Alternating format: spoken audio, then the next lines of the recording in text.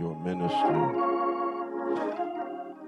The Lord bless us this year to have the honor and distinct privilege of sharing uh, the annual sermon in the 71st session of the Washington Annual Conference. And um, so many of you mentioned, uh, Reb, you got to bring that home. And so um, we freshened up the loaf of bread and we're bringing it home today. Amen. Uh, it represented Union Bethel, uh, but now, as so many have said, we are now sowing it into uh, Union Bethel. Of course, we receive God's word uh, in whatever venue uh, the word comes in, uh, but I'm appreciative for your prayers and it enable us to be able to share God's word with God's people. The book of Ephesians, uh, chapter 5, beginning at verse 25 through 33 in the New Living Translation. For husbands, this means love your wives just as Christ loved the church. He gave up his life for her to make her holy and clean, washed by the cleansing of God's word. He did this to present her to himself as a glorious church without spot or wrinkle or any other blemish. Instead, she will be holy and without fault. In the same way, husbands ought to love their wives as they love their own bodies. For a man who loves his wife actually shows love for himself. No one hates his own body, but feeds and cares for it, just as Christ cares for the church. And we are members of his body. As the scriptures say, a man leaves his father and mother and is joined to his wife, and the two are united in one. This is a great mystery, but it is an illustration of the way Christ and the church are one. Our sermonic focus on that 27th verse.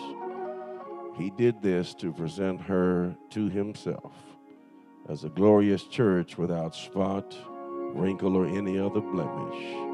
Instead, she will be holy and without fault. And for just a few moments, will the real church, dot, dot, dot, or ellipsis, will the real church. Go ahead and text someone and say, Pastor's preaching, will the real church. Message them. It's been a hell of a year. Wherever we have turned, we have seen hell loose its barrage of attacks against the lordship of Christ and against his church, his living body in the earth. It's been a hell of a year. Apocalyptic visions have seized our spiritual attention in a way that we had not seen since the few church filled prayer meetings which followed 9 11. Let me say parenthetically that we're coming up on the 20th anniversary of 9 11. It's been a hell of a year. We have wrestled with a threefold pandemic COVID 19, cacophonous racism, and catastrophic economic fallout. It's been a hell of a year our hands have been ablaze with the fury of hand sanitizer oozing into cuts and abrasions. Does anybody know what I'm talking about? Uh, it's been a hell of a year trying to keep eyeglasses from fogging up from the breath escaping the tops of our masks to the point where people have now created a, a fogless mask. It's been a hell of a year as we have had to hold hands virtually and help people to cross the digital divide and still engage in true worship. It's been a hell of a year. In Isaiah chapter 5, verse 14, Isaiah the prophet cries out and says, Hell has enlarged itself. Uh, but I got some good news, beloved. Where hell expands, heaven encircles. Uh, when, when hell steals, heaven restores. When hell kills, heaven resurrects. And when hell destroys, heaven rebuilds. With all of this that is going on, this is the church's finest hour. So watch out, world, because here comes the real church. Watch out, 1% that control 90% of the world's wealth. Here comes the real church. Watch out, Lucifer, morning star. Here comes the real church led by the bright and morning star. You do remember Union Bethel in past lessons that we mentioned biblically that Lucifer and the Lord both have the reference morning star. I'll go back to that and you can go back in your teaching and notes, but Jesus has the distinction of being the bright and morning star. That's the last star you see when the sun is rising, which means, watch this, he's got the setting in the west, that's the last star, and the sun is rising in the east. Do I have a witness? Meanwhile, back in the fellowship of the saints, let's take a minute to engage in some mirroring and see where we stand. The sermonic title infers a question that is on the horizon, while the ellipsis further infers that we, those who claim relationship in the real church, should already know the answer. Will the real church, dot, dot, dot. Real church folks should know the answer. But like an annual checkup with our physicians, let's go into a moment of checkup with our great physician, our primary care physician. Will the real church? I, I need to give you a textual disclaimer and and to all of our Bible students and uh, uh, scholarly studies of studiers of God's Word uh, here in this fellowship. I know uh, there's some folk who can just flat down get at it, break it down, and get with it. And, and, and so I need to make a textual disclaimer because we normally don't come at texts like this uh, and miss some of the narratives. But what you have to understand is when Paul writes, Paul uses illustrative language to support a point. And, and, and, what we often forget is there is message in the illustrative illustration, but there's also message in the main point. And so we have to look at the text and understand its main point. I know it starts out talking about husbands loving your wives. That is an illustra- uh, illustrative point that does bear understanding and bear our working through it so that we can know what God is saying to husbands and wives. And yes, you know the pericope of that and what it says. I, I, I will just simply say that that is a meta narrative that Paul used to describe the main thing. However, don't dismiss the meta narrative. Because, husbands, you ought to love your wives just like Christ loved the church. And so, when Paul would write with these meta narrative, and either, even the Apostle Peter later in his ministry said, You know, Paul writes some stuff that's just hard to understand. You got to really get with him and be able to unpack it. So, allow me to lift out of the text the context in which we set this message and of course, my brothers and sisters, we take note, come on, Bible study students, to the pretext, which brings us to it, and the post text, which is what comes after it. The pretext about this, about the book of Ephesians, is Paul, the wise master builder, who is building out the operation of the church.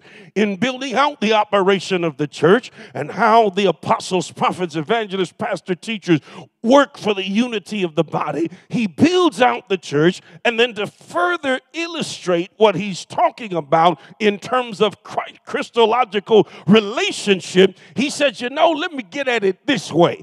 Uh, uh, uh, relationship with the church is like a husband's relationship with his wife. So now that I've given you that disclaimer, we're not in a marriage session right now, although we are. Will the real church will the real church bow down? Yeah, bow, bow, bow, bow down. Look at verse 26 to make her holy and clean, washed by the cleansing of God's word. He did this to present her to himself as a glorious church without spot, wrinkle, or any other blemish. Instead, she will be holy and without fault. What does it mean to bow down? It means repentance. And I've been talking over the course of this last year with uh, uh, various church leaders, both lay and clergy alike, and, and, and all we're hearing a whole lot of stuff. We're hearing, yes, you got to get your vaccination, and yes, we got to do this, and yes, we got to do that, and yes, we've got to change the political landscape. But you know, one word that was absent from a lot of the conversation over the past year was repentance. Repent. Repent for the kingdom of heaven is at hand. Repent means to change our minds, it means to change how we come at church.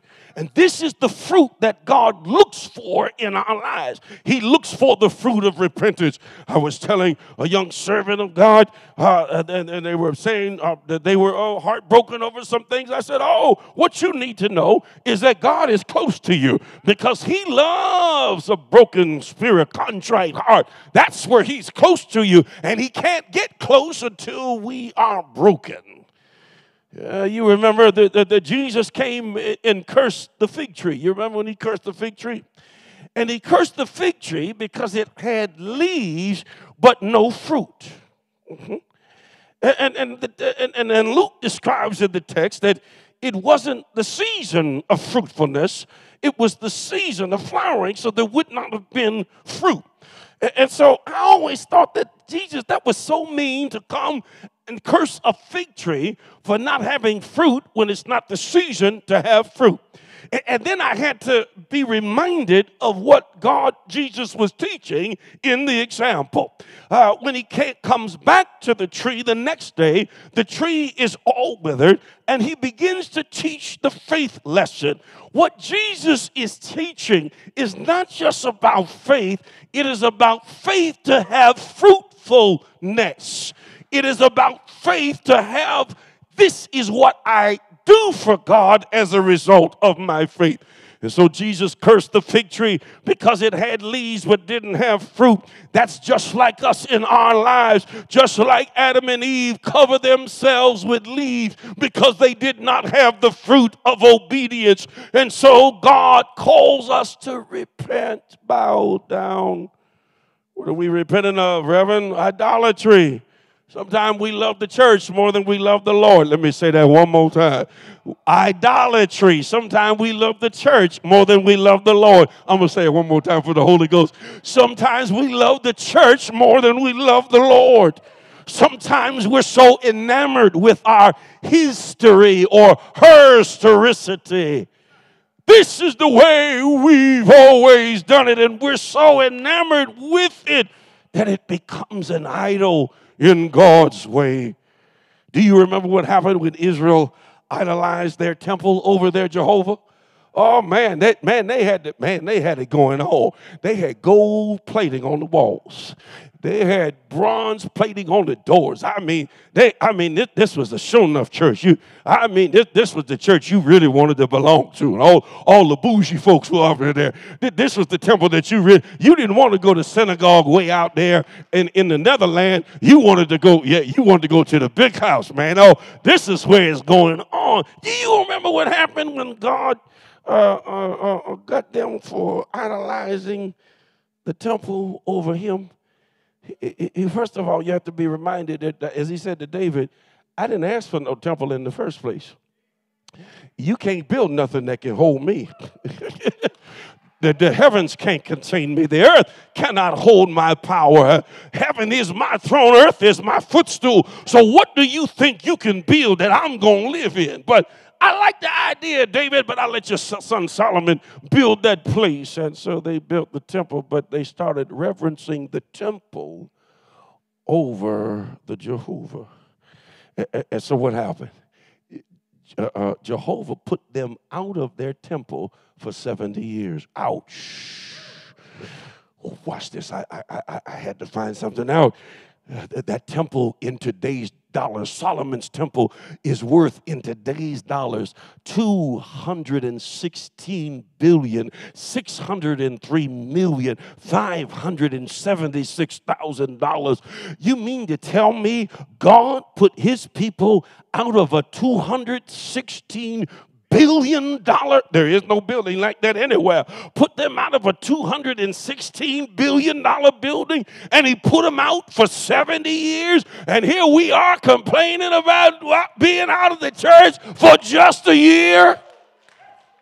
Repent the church in the united states accounts for 20 to 25 percent of land ownership not counting all of the hospitals, schools, daycares. That puts the wealth of the church in America in the trillions of dollars. And our church revenue is estimated, even in 2020, church revenue was estimated at $1.2 trillion.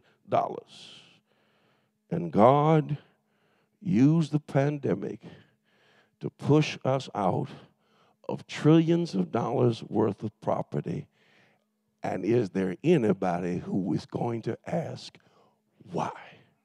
Well, the devil. No, no, no, you can't put that on the devil. Because nothing of this magnitude could happen without God's approval.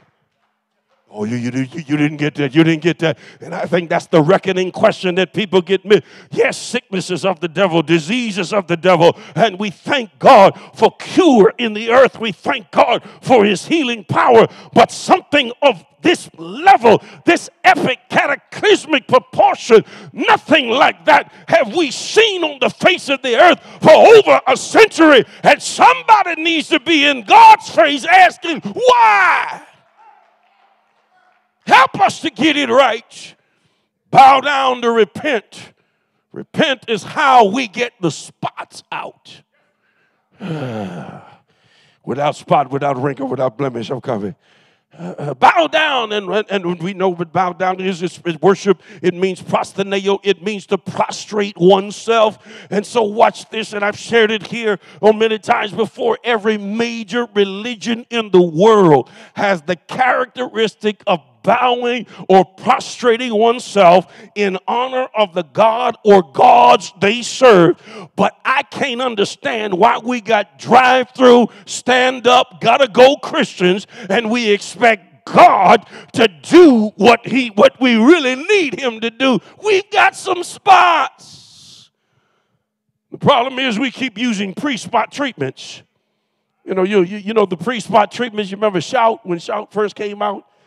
Yeah, and we go, guess what? We going we gonna shout it out. Yeah, we go shout it. Just spray this, and then you put it into a free spot treatment. So we got free spot treatments. We got praise teams, and and we got bands and we've got all kinds of techno gadgets uh, as though as, as though we can't preach without the ipad. My preaching is not complete until i have a tablet. I've got to have the latest going on. We got all of the gadgets but guess what? The message is still the same. The message has never been come to church. The message has never been build a church. Jesus said i'll build a church gates of hell won't uh, uh, uh, prevail against it. Your message is to say to the people, repent, for the kingdom of heaven is at hand with 3 million new cases of COVID 19 in the country of India. You can't tell me that God is not moving his hand back that he might get our attention. So until we go down into the water of repentance, that's that bow down. And in the Jewish tradition, they called it the sanctification of the bride. The bride, she got to be clean. And, and, like the bride, I, I want to be ready when the bridegroom comes. Uh, you, you, got me? and, and, so the, the hymn writer said it this way just as I am, and, and waiting not to rid my soul of one dark blot. To thee, whose blood can cleanse each spot. O Lamb of God, I, I, I come, I come. Now, not only do we have to bow down, but we, uh, church, if we're going to be the real church, or the real church, or that's who God is calling, will the real church, will the real church get dressed? Get dressed.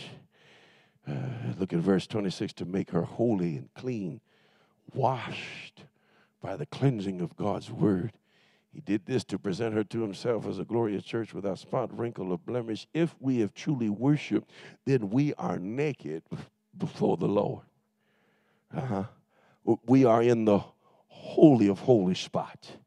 And we are truly naked before the Lord. As the living body of Christ, we hope in the context of our fellowship that we may be comfortable with our shared vulnerabilities. Uh, that, that, that's why the, the church, as a fa- local family of God, must be comfortable and, uh, and, and, and loving and understanding about all of our shared vulnerabilities.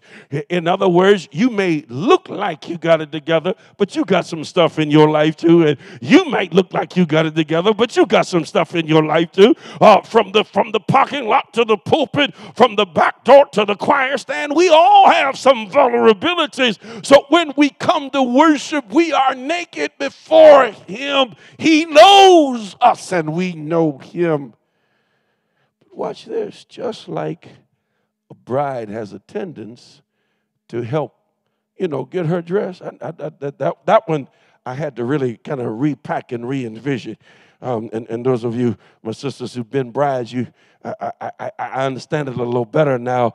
That this not the normal just get dressed and you know fix your hair on your way to work. This ain't this ain't they kind of dress up. That this this is this once in a lifetime. This is this once a lifetime where from top to bottom it's got to be flawless. The hair has to be right. Eyebrows got to be right. Eyelashes got to be right. Eye mascara, all that stuff they put on them eyes got to be right. All of, whatever they put on the cheeks and what I know the foundation and all of this kind of stuff. It's got to be right. The dress has got to be fitting just right. I know brides that will go on long fast because I got to get up in this dress when I come down that aisle. It's got to be looking right. Uh, all of the things. But did you know that even in the dressing process, because of the magnitude of the clothing,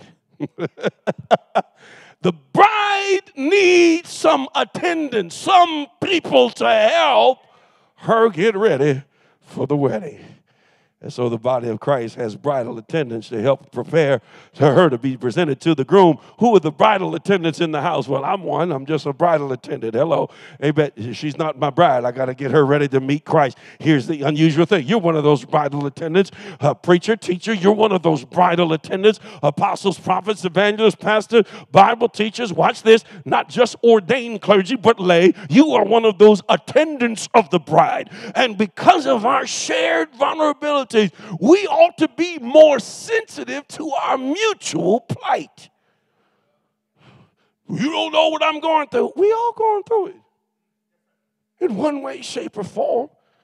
When we get dressed, because of our shared vulnerabilities and mutual plight, we ought to be more compassionate to the family of God. We ought to be more understanding and loving and forgiving of one another. Uh, and, and, if you're holding on to something, well, you know, that brother did this, and it's been three years, and you still holding on to that, and you wonder why you still got spots, and God, hello, hello, that's a spot in your life. That's a spot called unforgiveness. We need the spots, the wrinkles put out. We, out of love, ought to help our sisters and brothers with their garments of righteousness and holiness. If we're all planning to attend the marriage supper of the Lamb, when then we have to share in the preparation for the gathering. Uh, how many people you have? Some people you love enough that you want you want them in heaven with you. I want you to be there with, uh, with the marriage supper of the Lamb. I want you to be there uh, when we sit down to dine with Jesus. In the Greek, the word wrinkles is ritis, uh, uh, which means lines or creases in the skin. Uh-huh. And, and, and, and, and, and so we have to help each other get the wrinkles out. Uh-huh. You have to care about each other enough to want to help each other get the wrinkles out. I'm not just going to leave you over there by yourself. You, you're my brother, you my sister. I, I see some wrinkles, and so I need to help you get the wrinkles out. Watch this. I'm not talking about logs and beams, I'm talking about wrinkles and spots. how, many of you remember? I'm going to date myself, the number 10 tin tub. Hey man, I know some of the young ones are Googling it right now. That some of the children are asking them, oh, what do you mean by number 10, tin tub? Number 10, tin tub. That was a big tub that we used to wash, and we use them for foot washing service here. Uh, how many of you remember uh, the washboard. Yeah, that, that was that board that you put down in the tub and you can scrub stuff up and down on it. Uh, uh, how, how, how, many of you uh, remember the old fashioned? Poppy had one in the basement that you had these uh, three, you had the three sinks where you, you wash and then you rinse and then you take the clothes and you'd run it through a wringer uh-huh, to help squeeze the water out. Huh? Anybody understand? And, and then and then my mother would do something uh, with, with my dad's shirts and, and, and eventually mine too. Uh, but but but when, when she get through washing dad's shirts, she she would she would wring them out and, and but then she'd take a big uh, another big bowl or tub and she would immerse the shirts in water with Niagara starch. Uh-huh. Niagara starch. I'm, I'm, this long this long before they had the spray the spray stuff. This is not the you know uh, uh, it one it, it's starch and then there's another solution that they had uh, all, all, this stuff and and and and so. Uh, she would soak them in Niagara starch and then she would hang them on the clothesline. You, you, I know you don't know about lines and clothespins. You know those are things that you actually you actually hung clothes out to dry you know, I know we're looking, where's the dryer, y'all? It's right outside. It's just wherever you want to hang them.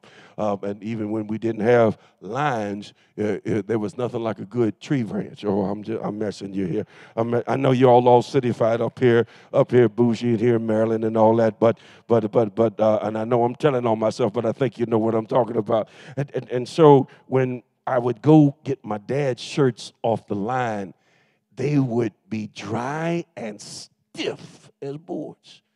Oh man, that thing, it, it, it, was unusual. It was, you know, it, it, was fascinating to me how something so subtle and soft could get so stiff with just a little starch. But the problem is it had wrinkles. Mm. It had been washed, no spots. It had been rinsed. Uh-huh. It had been immersed in what it needed to be immersed in, and now it is dry, but you still can't present it to anybody because it has wrinkles.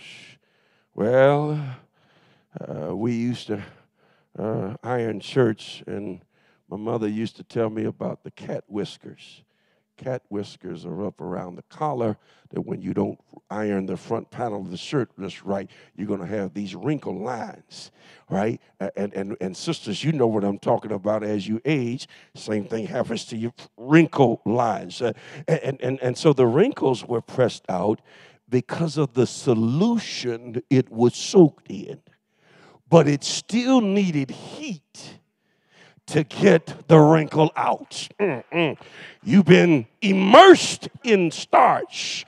You've been dried in the, cle- in, the, in the clean air, but now you need heat and pressure to get the wrinkle. Oh, I just said something. You need heat and pressure to get the wrinkles out. And if you wanted to know what kind of year we've had, we have had a year of heat and pressure. And I can feel the Holy Ghost pressing out the wrinkles so that we can become the bride of Christ. Challenges, as I see it, we've got too many permanent press, non iron church folks. Permanent press started in the early, early 20th century, and they created uh, these chemicals that they put into text so that we uh, uh, into uh, into solutions so that we would not have to iron the clothes so much.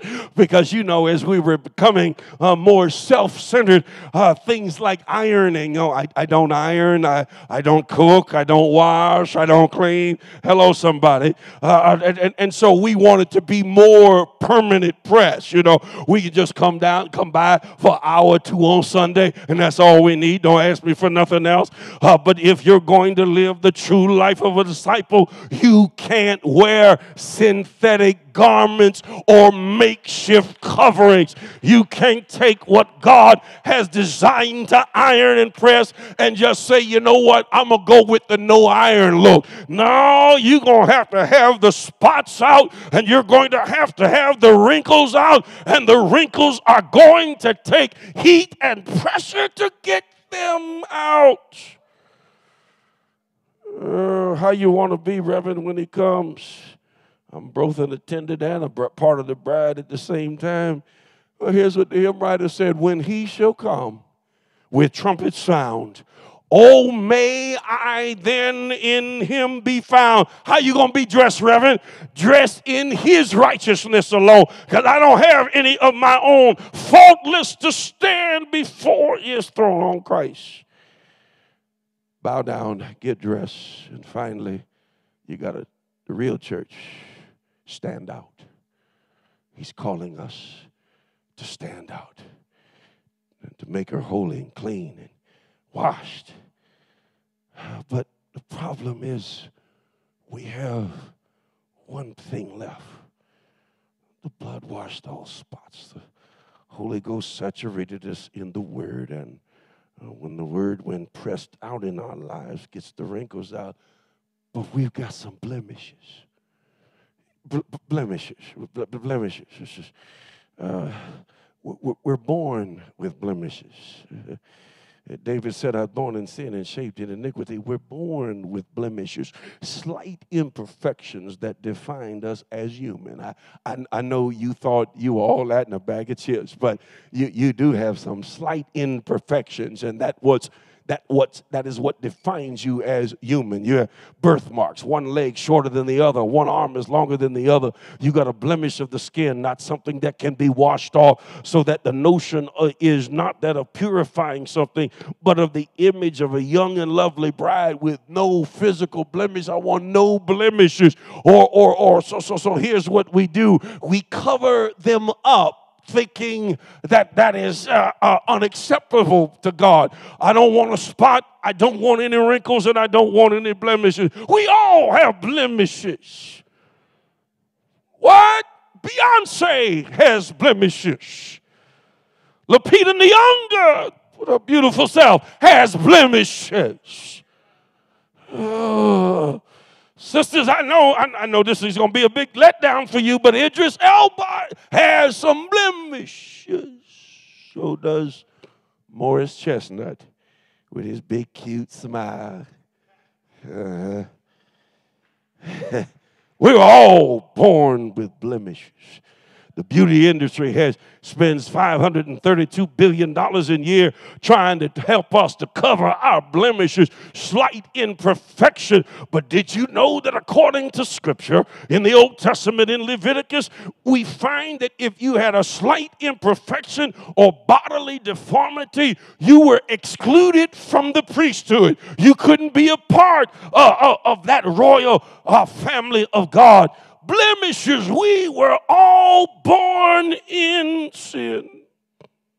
So while we're still working on the spots and while we're still working on the wrinkles, that's sanctification, God has the audacity to send us into all the world to get ready for a dinner with the groom but I got some blemishes, yeah, but I still want to use you. God has the audacity to call us to mission and service to the world around us, even though we may still have some blemishes in our life. Ah, come here, Paul. Help me to understand what's going on. I had some blemishes in my life, and I asked the Lord three times, Will you move the blemish? If you could get rid of this, man, I'll have it all together. And God said, No, I'm still sending you out. I'm still keeping the blemish because my grace is sufficient. So, how do we work on blemishes? Well, we acknowledge we have them, that's mirroring. We confess our need for Him, that's humbling. And we tell our story about His deliverance, that's credit. you give credit where credit is due. So, how do we make it with blemish? His grace. Well, it's been a hell of a year. But the answer for hell is already in the earth. That, that, that's the church, the, the, the, the real church. Do I have a witness? When the world shut down, the church went outdoors. When hunger walked our streets, the church passed out groceries we became the grocery store. When the world couldn't get toilet paper.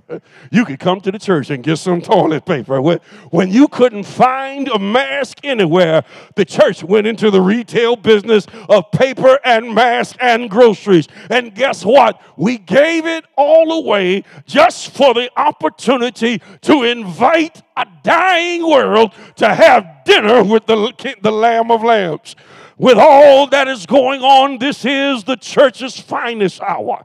With all that is happening around us, this is the church's finest moment to stand out and be the church the bride of Christ in the earth. Yes, we had some spots. He washed our spots away. Yes, we had some wrinkles. He is pressing them out through the heat and fiery trials that we are going through. And even though we have some blemishes, I hear the Lord say, His grace is sufficient. Stand up and be the real church. The real church is rising to the challenge. Uh, I like Brother Paul who gives us this beautiful narrative. Uh, he helps us to understand what God has called his church to be. Uh, will the real church bow down? will the real church get dressed? Will the real church uh, stand out? Uh, he says as he concludes the writing, uh, I just want you to be clear that though I've touched this marriage illustrative material, what I'm really talking about is Christ and his church. Old brother Paul uh, didn't make it to see the end. Uh, in AD 65, uh, he was beheaded in Rome. Uh, about a year later, uh, Apostle Peter uh, was crucified upside down also in Rome. But there was the youngest apostle. His name was John. John was about 20 when he started following Jesus. So now he's a grown man. The emperor tried to boil him in oil but he couldn't die. And there on the Isle of Patmos, John said, Paul, I got this now. You run your race. Peter, I got this now. You served your time. I can hear John say, I was in the spirit on the Lord's day to a witness. There is Apostle John seeing that vision of the seven churches. But later on in the book, when God carries him to heaven, uh, he looks over uh, and he sees millions upon millions uh, in white robes. John asked the angel, Who are these? And the angel said, These are they. These are they whose robes have been washed. These are they who walk through pandemic. These are they who made it through pitiful presidential leadership. These are they who went through overt racism. These are they who have been washed in the blood of the Lamb. John saw us. He saw us back then. So we have the victory, church. We have the victory today. I can see it. Can you see it? I can see it. Can you see it? What you see, Reverend? There's an army. There's an army rising up. There's an army rising up. There, there is power. There, there is power. There, there is power in the name of Jesus. Break every chain, to break every chain, to break every chain, to break every chain, to loose every bondage, to destroy every yoke. There is power. In the name of Jesus. I see it. I see the real church feeding the hungry, the real church preaching the gospel, The real church. Mm. I'm gonna finish, but I ain't through. Holy Spirit, yesterday, dropped this thought down in me, and it just blew me away. Um, many of us, and now we have apps on our phones, but you remember when we couldn't wait to get home because we had to watch the evening news. Huh. We wouldn't go to bed till we had watched the evening news. Uh-huh. And uh, some of us grew, grew up on Walter Cronkite Barbara Walters. I can't even name all these people now. It's long before CNN and all that. And then the world went to 24 hour news. Uh, you got that? And so we could turn to headline news and see the headline at any time of the day. And the Lord said something to me yesterday. He said, Look at what's happening now. Who gets more airtime now. I said, What you mean?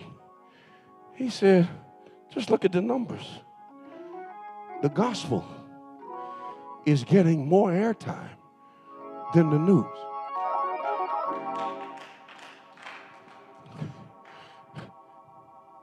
Just go.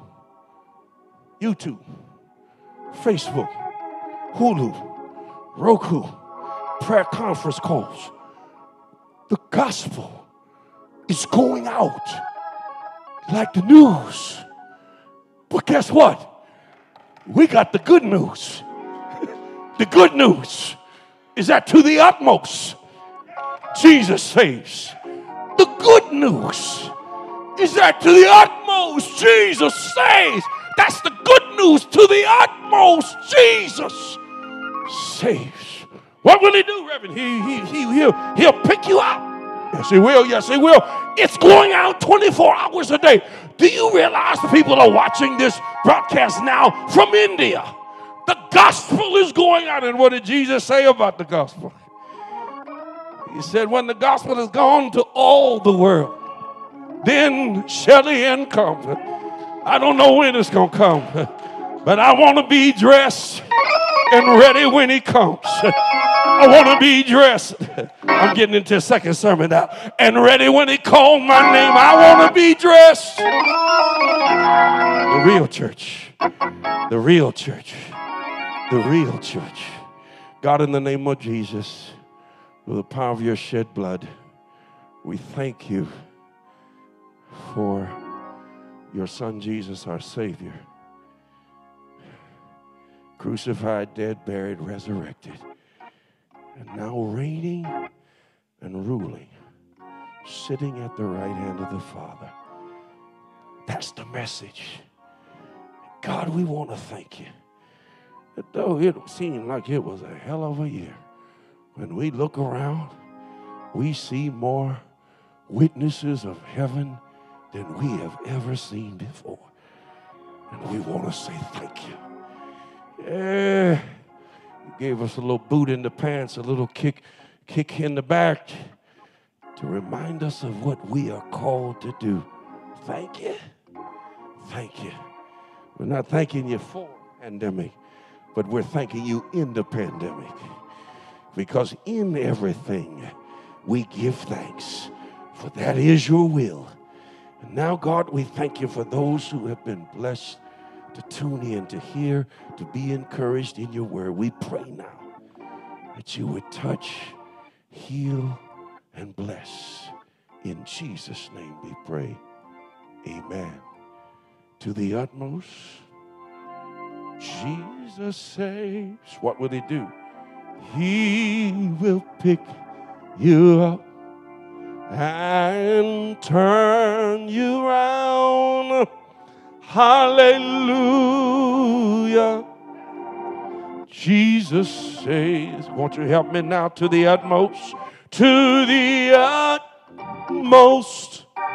Jesus saves to the utmost. Jesus saves. He will pick you up and turn you around. Hallelujah. Jesus say, you know something that this song reminds me of? We're, sometimes we're so busy trying to to uh, get a new word, and all you got to do is just go with the word you got. Did you notice Jesus never taught, taught the apostles preaching? He just said, Say, the kingdom of heaven is at hand. He never taught them preaching. You know, introduction, point one, point two, point three. He, he never taught them all that. He just said, When you go, say. it's just that simple. And the message doesn't change. Now, we got to repackage it and reposition it, but it doesn't change. So when we go to Roku, we're already there. When we go to Hulu, we're already there. YouTube channel, we're already there. Facebook Live, we're already there. Live streaming, we're already there. Church app, we're already there. When you go, the message is the same to the utmost. Jesus said, I don't care how old the song is, the song may be old, but the message is still alive. He saves to the utmost. Mm. Jesus saves to the utmost. Let's get ready to receive our gifts now. I'm going to let you go. I got much longer than I should have. I told him I was going to preach the 19 minute sermon in 23 minutes, and that didn't happen because I was at home. Amen. I was at, I'm, I'm, I'm at home. Uh, so let's do this. Let's, let's prepare to receive our gifts right now, and, uh, uh, and then we'll uh, go into this final uh, Sunday of empty hands and I'll share with you some things in that regard, uh, and then we'll dismiss from this place. The, the question is will the real church bow down? Will the real church get dressed? Will the real church stand out as the bride of Christ? That's what God is calling the real church to do. Thank you so much for your gifts and your sharing, how you've continued to be a blessing to the ministry. I can't tell you that we'll talk about it more this month. The number of places and situations we've been able to intervene and minister to because of your faithful stewardship. It's just, it's, it's, it's miraculous. Uh, uh, we just sent, um, uh, just sent the ninth district, uh, Bishop Seaver, just because we sent $1,000 every year, we sent $1,000 to economic development. Uh, uh, and we're able to do those things. Disaster over here, situation over here, situation over here. And guess what? That's real church. It's real church. It's real, real church. And then, and then watch this. Watch this. Watch. I'm gonna show you. Can I show you a little secret? When you keep giving out, God says, "Oh, okay. That means I'll trust you with more." So then God will touch uh, Prince George's County elected officials, and they'll, okay, well, we'll give you something to help get it out to the, yeah, you, you got it, get it out to the people. And, and, and so, what a blessing. It is in giving. It's a blessing in giving. It's a blessing in giving. It's a blessing in giving. I'm going to preach that till I die. There's a blessing in giving. You always ought to have more seed in the ground than you do in your hand. In your hand, you can only do so much with it, but once you sow it and put it in the ground, it always comes back multiplied. it comes back multiplied, pressed down, shaken together, running over. Shall men give it you? But somebody gave me a check uh, just the other week. Just this is for you. I'm like, what? Surprise you, just surprise you. And the first thing I'm looking for now, who can I give something to? Because if he can get it through me, he can get it to me. Are you with me on that? Information on how you give is on the screen. And uh, you can give electronically through uh, Givelify through our website, ubame.org, uh, or you can give through the mail-in postage paid envelope. We try always to send those out to all of our givers as well as all of our members so you have them. And so many of us hold up our phone because we use the Realm app or Givelify app for giving. And so, Father, we thank you for the blessings of grace and mercy. We pray that you would bless now the seed and the sower, bless the gift and the giver. In Jesus' name we pray. Amen and amen. Thank you for your gifts. I believe now we go into this for the last 13 months. We have observed the empty hands communion. Can you say amen, somebody? One of the bishops of the church, Bishop Clement W. Fugh, uh, wrote a wonderful article at the onset of this pandemic um, and we chose the route of safety uh, for our congregation. And we celebrated with empty hands. Lord willing, uh, this is the last Sunday we will celebrate in the empty hands, and I'll give you instructions that are coming out uh, to you this week. Um, had a wonderful uh, meeting this week, a teleconference with the director of health for the AME Church, Dr. Miriam Burnett, my friend and colleague and you've seen her in many platforms around. And I just asked her, I said, okay, where are we now? Uh, as the church is talking about General Conference, and that's another issue with outside of our purview. But she said, where, I said, where are we now in this timeline? And she said, we'd reached uh, an acceptable timeline to be able to at least distribute safely elements. Hello, somebody and, and other things. So, Palm Sunday, we just gave it a little test run. That's all. We just said, hey, you want some palms? Come by and get it. About 100 y'all came by. It was wonderful. And uh, we knew that these things are working and they have to work in time with God's wisdom. Remember, we talked earlier wisdom and faith. faith says, uh, he, he will cover me with his wings, with his feathers. He will protect me. And uh, wisdom says, I don't need to put myself in a way where he has to. I can just walk wisely. Amen. And so there's a balance of the two. Faith and science do work together. And so we'll do the empty hands this Sunday. And then uh, the first Sunday in June, Lord willing, we'll give you instructions on how you can come by and pick up disposable communion. We'll give you enough for three or four Sundays. All right, and there are some theological issues as well that are running behind that. That's why you don't see it consistent in every house. So there are the, there's theology and principles and praxis, which we will have to address in the general conference in this type of thing. Um, but you'll be able to come by on the Saturday before the first Sunday uh, next month and get enough for three or four months. We will then, that will give us a preview of the possibility of outdoor worship. Uh, amen. Amen. I'd rather be slow and safe than fast and foolish. Amen. Amen. So uh, we do this with you in mind. With you in mind. If I had my brothers, I'd, everybody just come on in the parking lot or something. But we have to do it with you in mind to be wise in all that we do. Now, having said that, we still have a long way to go to encourage our brothers and sisters to get vaccinated. Uh, to get vaccinated, to get vaccinated, get it back. Every month I go to get your birthday money and anniversary money from the bank, and the tellers know me. And so they, you know, once I get through the transaction, I ask them and say, Now, have you gotten your shots yet? Pastor, we're working on, working on, I'm on the list. I said, okay, good, that's better. Because you do know eventually to work here. Uh-huh. Yeah. So we want to encourage that, and uh, we refer uh, several of you all, uh, of course, Reid Temple and some of our larger current facilities are using medical staffs to be able to do that. And so we want to encourage you to go get your shots wherever you live. Uh, we also are blessed to have a connection uh, with the new MedStar. It used to be Southern Maryland, but it's now MedStar. And, and it is coming up. Amen. We know what it was. It is coming up.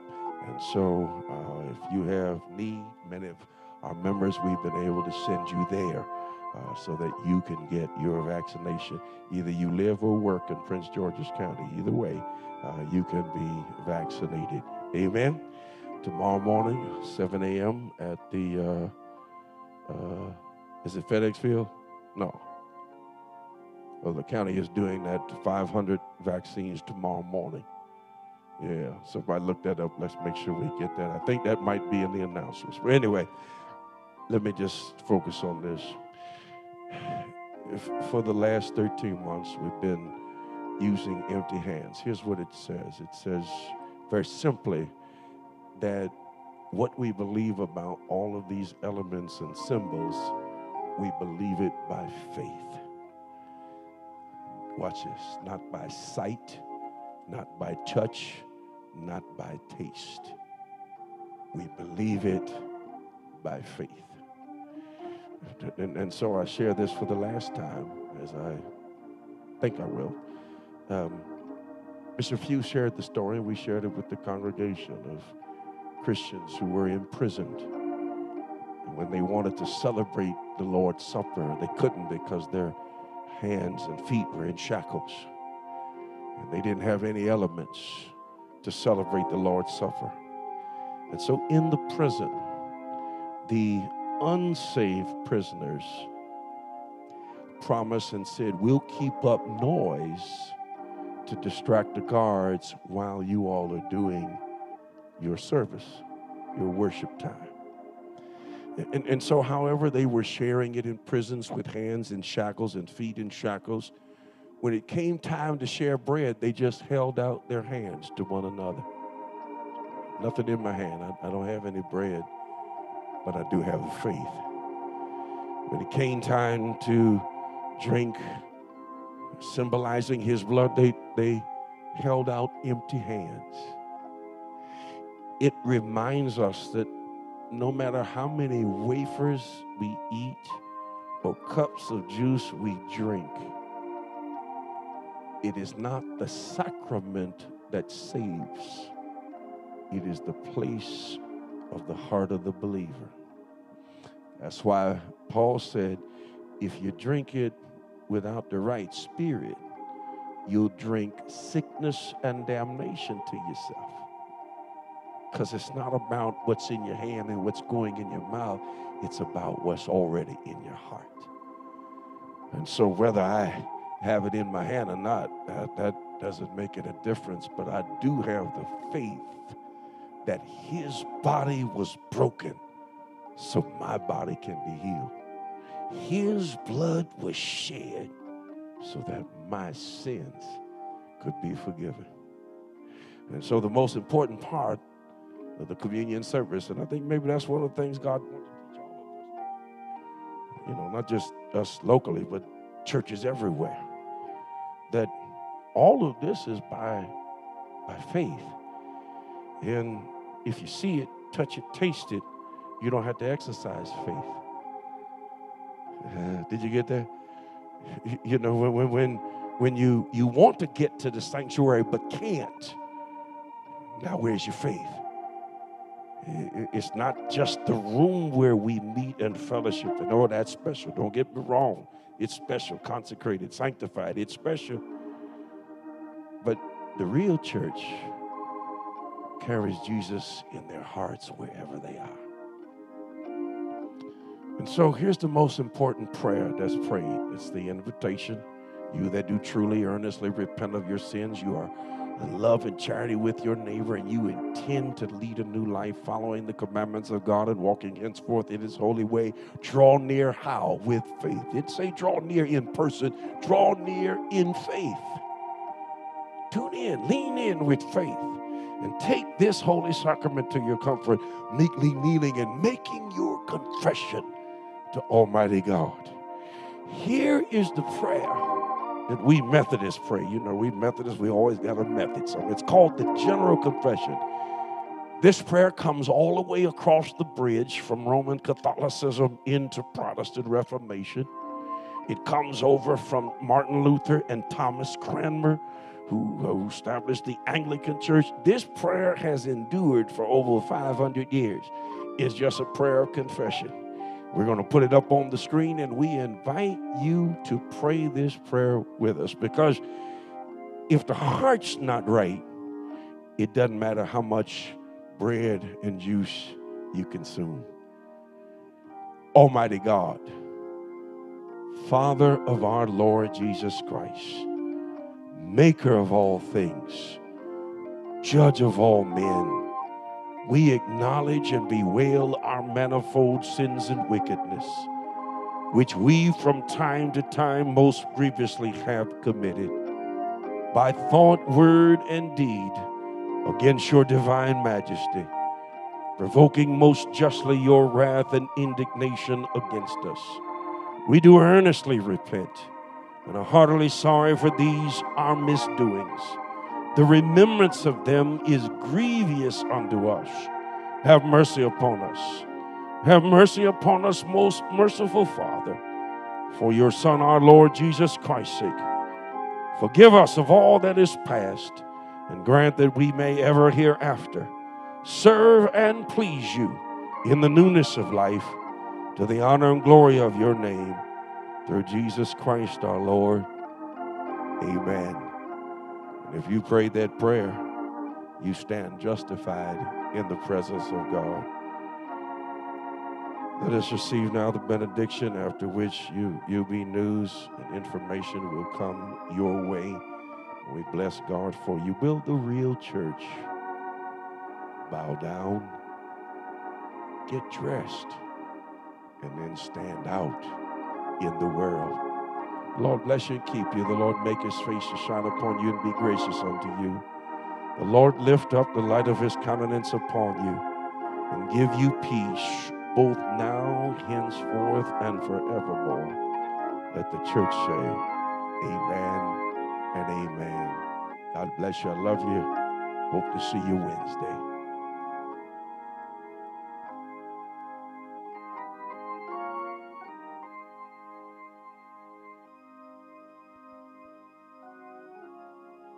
Union Bethel's next Facebook Top Fan of the Week, Sister Ann Bostic. Thank you for your engagement and sharing. I did it. Our vaccine recipient for this week is Sister Mickey Smith. Schedule your vaccine shot today. Protect yourself and others. Share your vaccine photos and send to communications at ubame.org. On Wednesday, May 5th at 7:15 p.m., UBTV Member Moments presents a sit down with Lady Dietra and Pastor C. Don't miss this special conversation with our first family. Union Bethel is celebrating all of our mothers with a special Mother's Day gift. To receive your gift, a drive-through pickup is scheduled for Saturday, May 8th from 9 a.m. to 11 at Brandywine. If not available to pick up, please contact the church office. After you have picked up your Mother's Day gift, take a minute to participate in Union Bethel's Moments with Mothers Zoom call on May 8th at 1 p.m. Look for the Zoom information from the communications emails. Join Union Bethel's Mother's Day worship service on Sunday, May 9th with our guest preacher, Reverend Dr. Jessica Kendall Ingram, Episcopal Supervisor of the 1st Episcopal District. Union Bethel's Men's Day celebration is Sunday, May 16th with Reverend Dr.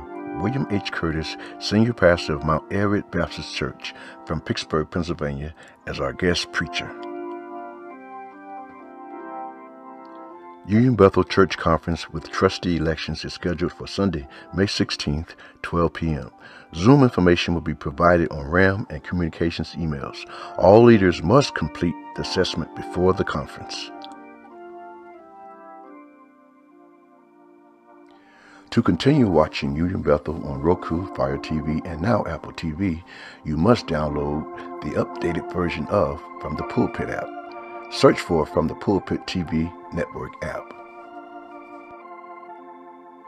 For an easier access to the COVID 19 vaccination, Prince George's County is offering a pilot walk up vaccination clinic at the Sports and Learning Complex on Monday, May 3rd, beginning at 9 a.m. for Prince Georgians only. This is a one day event, only 500 doses, first come, first served. The Department of Veterans Affairs have the COVID-19 vaccine available for all veterans, spouses, caregivers, and recipients of the Civil Health and Medical Program. To make an appointment, call the hotline number at 202-745-4342 or visit the website at www.va.gov forward slash COVID 19 Thank you for tuning in to our virtual worship service. Join us throughout the week and next Sunday to hear God's spoken word. Have a safe and blessed week.